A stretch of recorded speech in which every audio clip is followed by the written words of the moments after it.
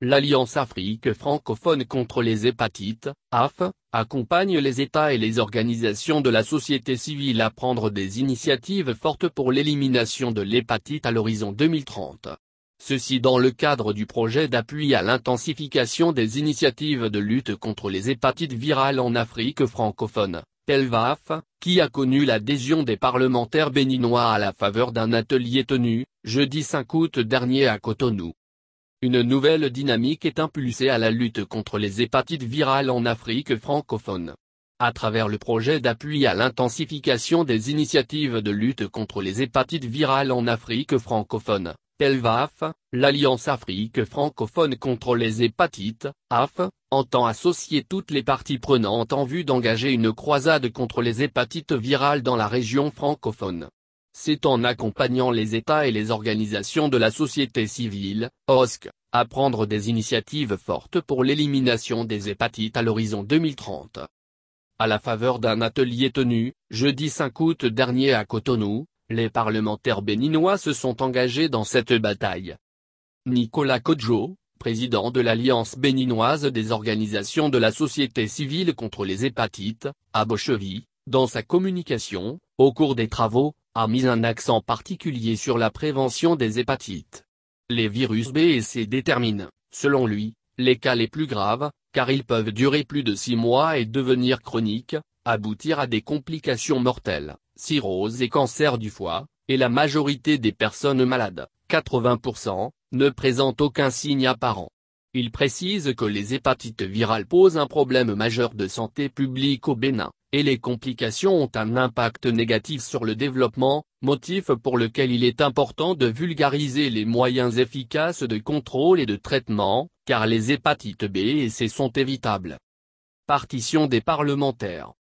L'hépatite ne doit plus être une cause de mortalité au Bénin. Pour y arriver, Nicolas Kodjo propose de mettre en place un système de renforcement des connaissances sur la maladie, la promotion des actions de prévention, du dépistage et de la vaccination, la prise en charge des gestantes séropositives, et sensibiliser pour limiter les modes de transmission et les facteurs à risque.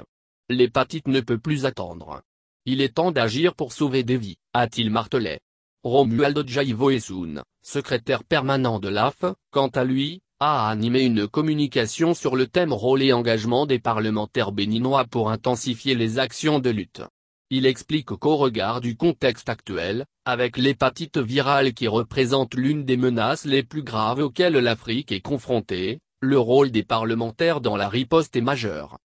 Après un bref rappel des rôles traditionnels reconnus aux parlementaires, le communicateur a dressé en quatre points la responsabilité déterminante des élus du peuple dans ce combat, à savoir, porter les préoccupations des populations, des osques et des malades de l'hépatite à travers des questions au gouvernement, s'assurer, avant le vote du budget général de l'État, que des ressources suffisantes sont prévues pour la prévention, les soins et le traitement de l'hépatite et saisir toutes les opportunités pour plaider auprès des partenaires techniques et financiers à accompagner le Bénin dans sa volonté d'éliminer l'hépatite à l'horizon 2030.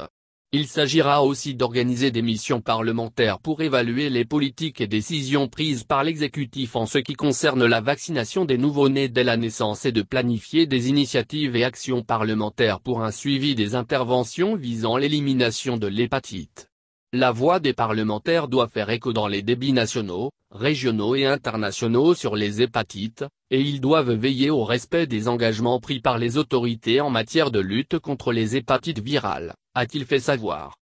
Pour finir, il a indiqué qu'avec l'avènement du réseau des parlementaires de l'Afrique francophone contre les hépatites et l'engagement remarquable de ses membres, l'Afrique francophone en général et le Bénin en particulier ont de fortes chances d'être hissés au rang des pays ayant fait de progrès remarquables pour l'élimination de l'hépatite d'ici 2030, mais pour qu'il en soit ainsi, chaque parlementaire a un rôle déterminant à jouer. Au terme des travaux, des recommandations ont été formulées et un appel à l'action des parlementaires a été lancé pour une mobilisation politique, un renforcement des politiques de prévention, une stratégie active de dépistage, un accès au traitement pour tous, une intensification des efforts de recherche pour la guérison de l'hépatite B et un renforcement des politiques d'information des citoyens, de respect des personnes et de formation des professionnels.